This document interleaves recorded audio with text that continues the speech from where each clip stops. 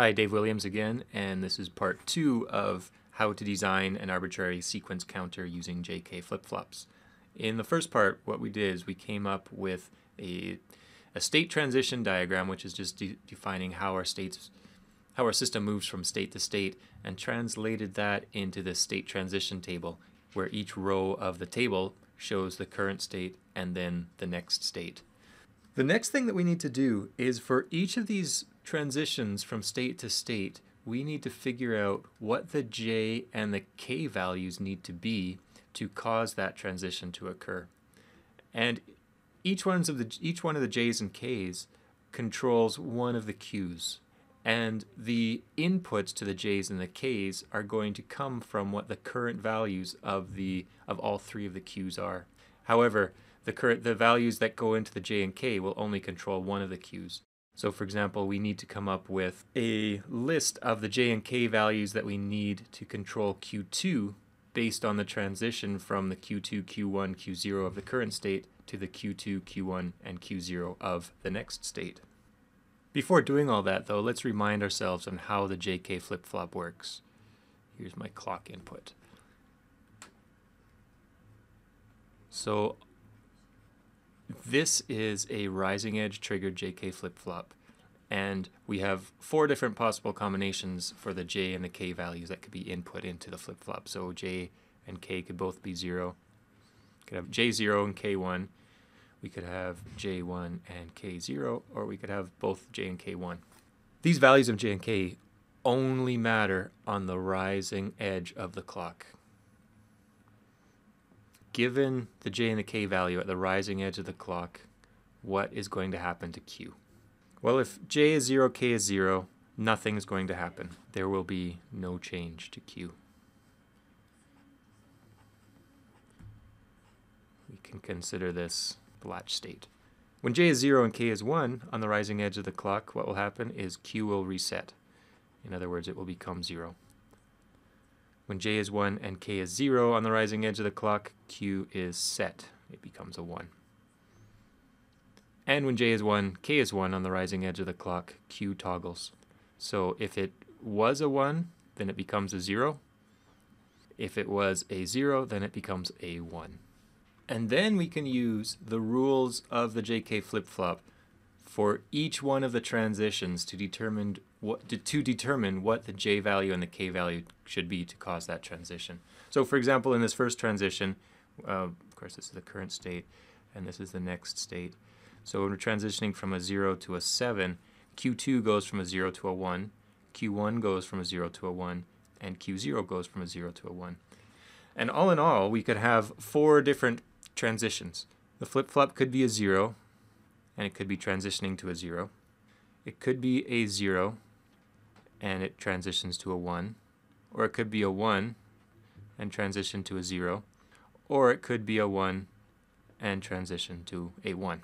Now for each one of these transitions, we want to, we want to determine what value j should be and what value k should be to cause that transition to occur. So for a flip-flop to go from a 0 to a 0, or in other words, stay at 0, then the jk flip-flop will either have no change occur or will be a, a reset. So that means J0 and K0 to cause the for no change, or J1, J0 and K1. So J will have to be a 0, but it doesn't matter what K is for that transition. To go from a 0 to a 1, we would either need to toggle or set. So we'd either need J a 1 and K a 0, or J a 1 and K a 1. So J has to be a 1 for that transition, but it doesn't matter what K is. Next, we, can try, we could possibly transition from a 1 to a 0. For that to occur, we could either force the reset, where J is a 0, K is a 1, or we can cause a toggle to occur. J is a 1, K is a 1. So for this case, it doesn't matter what J is, as long as K is a 1. And finally, to go from a 1 to a 1, we could either have no change, so J0, K0, or cause a set to occur, J1, K0. So in this case, again, it doesn't matter what J is as long as K is a 0.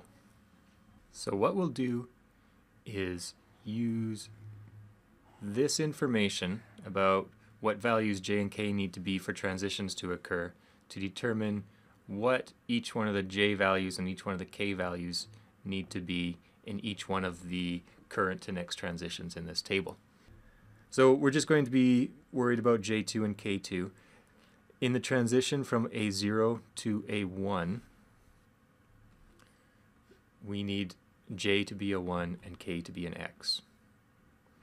In this transition, and in this row of the table, we go from a 0 to a 0, so we need J of 0 and K of X.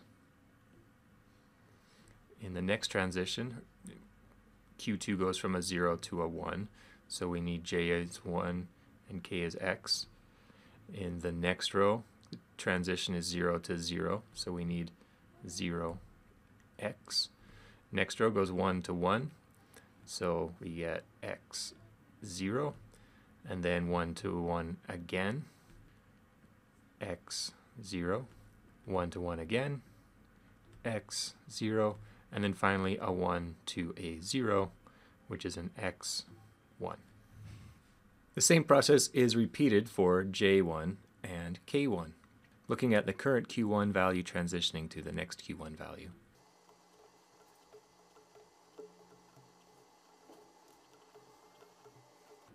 And finally, the J0, K0 values can be determined from the Q0 current value to, to the Q0 next value transition.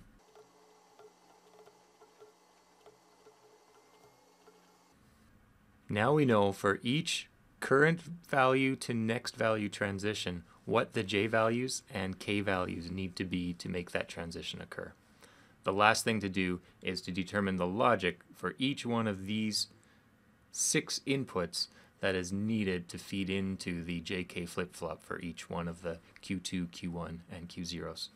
So I will show you how to do that in the next synchronous counter design video. Thanks for watching.